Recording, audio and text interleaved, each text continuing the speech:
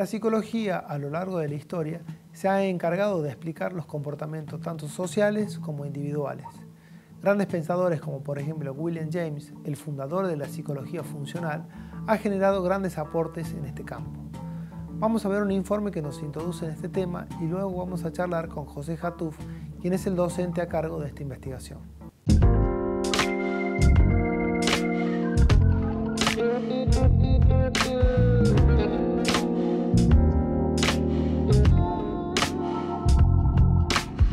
Para la segunda mitad del siglo XIX, las investigaciones en termodinámica y el evolucionismo generaron un paraguas cultural positivista que se volvió dominante en la cultura occidental. El tipo de lenguaje que abonó eh, dentro de la filosofía, la política, la ética, eh, pero también dentro de la economía y la literatura, estaba vinculado a conceptos eh, tales como la energía, la lucha, el poder, eh, la fuerza. William James, el filósofo al que me dedico, trata de desentrañar cuál es el mecanismo propio de ese ánimo vigoroso vinculado a la lucha, al poder y a la energía. William James participa de ese lenguaje, pero hace un aporte intelectual original tratando de desentrañar cuál es el mecanismo psicológico de el vigor.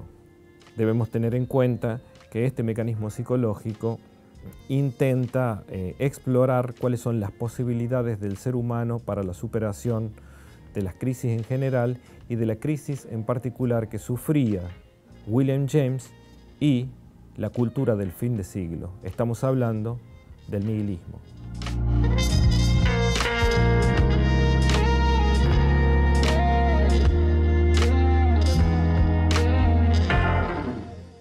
Bien, luego del informe nos encontramos con el docente a cargo de la investigación, José Jatuf. Hola José, ¿cómo estás? ¿Cómo estás? ¿Todo bien? Bien, gracias por haber venido. ¿eh? Gracias por invitarme.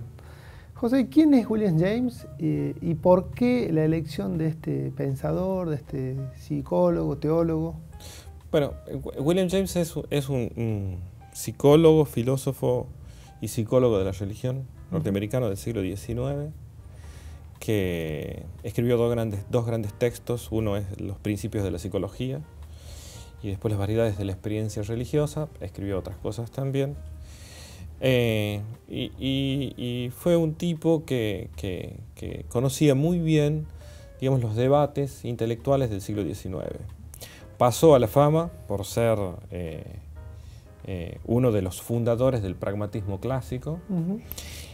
Es por eso que uno asocia la, la, el nombre de William James más al pragmatismo que, por ejemplo, la psicología y la psicología de la religión. Uh -huh. Pero su gran tema, dicho por él mismo, es la religión, desde un punto de vista psicológico. Eh, y yo lo elegí básicamente por una cuestión de, de, de, afinidad. En principio, digamos, las cuestiones vinculadas a la religión a mí siempre me interesaron, la filosofía de la religión, uh -huh. pues me parece que son cuestiones que están vinculadas a la cuestión del sentido, que es, me parece a mí, uno de los temas más importantes de la filosofía.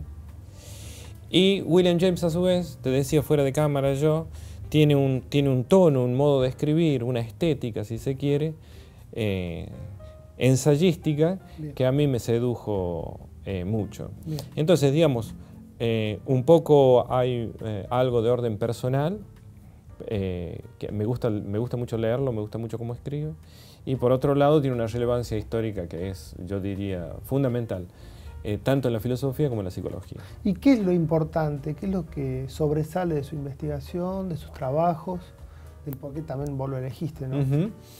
eh, en, hay una característica que es propia del siglo XIX, que es que los filósofos, eh, eh, los intelectuales en general, también los psicólogos o por ejemplo los físicos, uh -huh conocen como todos los eh, ámbitos del saber, es decir, el conocimiento no estaba tan especificado como ahora. Entonces, digamos, el campo de intereses de William James es muy, muy, muy amplio.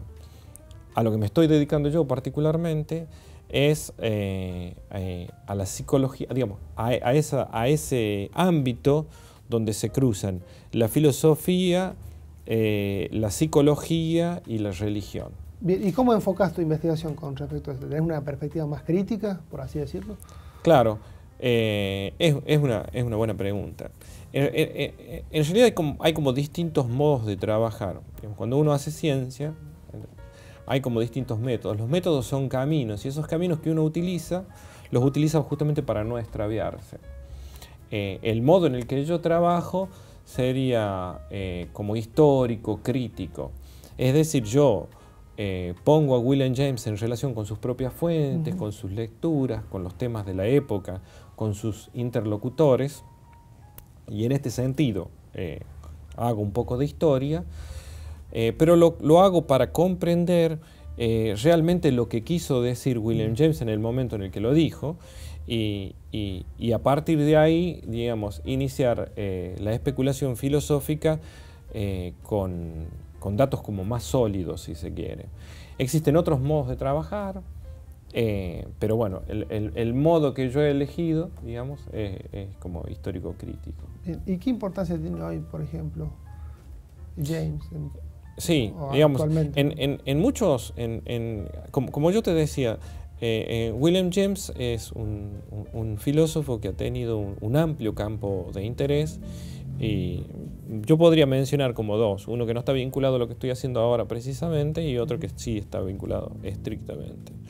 Por ejemplo, dentro del ámbito del pragmatismo, él es uno de los fundadores de, de esta como corriente filosófica y es una corriente filosófica que ha intentado dar respuestas a las preguntas que atraviesan al ser humano y a las sociedades desde un punto de vista que supere eh, lo que podríamos llamar las respuestas metafísicas, que han como caído en desuso.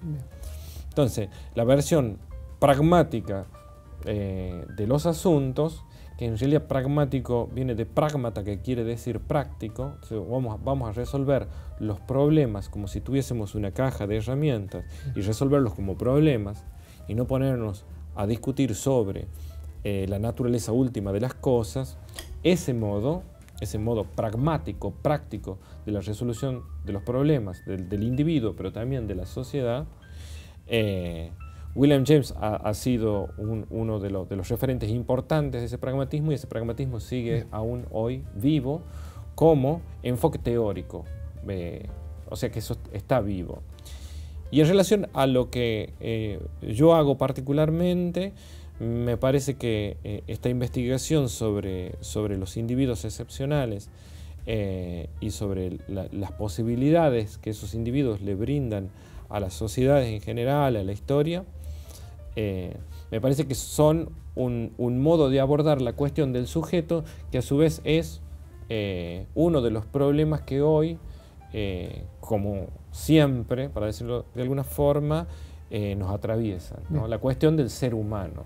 ¿Qué es el ser humano? ¿Cómo funciona? ¿Qué posibilidades tiene? ¿Cuáles son sus límites? Para cerrar, ¿qué es el Strange Mood? Yo estoy, yo estoy eh, eh, trabajando, digamos, dentro de la ética de William James, el aspecto heroico, y dentro del aspecto heroico un concepto que es strenuous mood, que es el estado ánimo vigoroso. Y lo que se está preguntando William James es lo siguiente, que es una pregunta muy típica del siglo XIX, digamos. ¿Qué eh, tipo de ánimo, de disposición, atraviesa a aquellos individuos que eh, son eh, en algún sentido excepcionales. ¿no? Entonces, eh, este ánimo vigoroso está vinculado en los principios de la psicología, que es el primer gran texto, a una cuestión de la voluntad y a, la atención selectiva. Él dice, bueno, quien tiene la capacidad de mantener una representación ideal por encima de otras y sobreponerse a las inclinaciones coyunturales, eh, tiene posibilidad de transformar las cosas y si, y si, y si eso es abultado en él, se constituye como en un héroe. Ahora, en las variedades de la experiencia religiosa, el mecanismo varía y está vinculado a, las energías ocultas que habitarían en el inconsciente. Eh, porque aparecen todas las investigaciones de Freud, Janet y demás. Bien, muy interesante el tema que estás abordando. Ciencias sociales siempre es un, nido para seguir investigando, es una ciencia.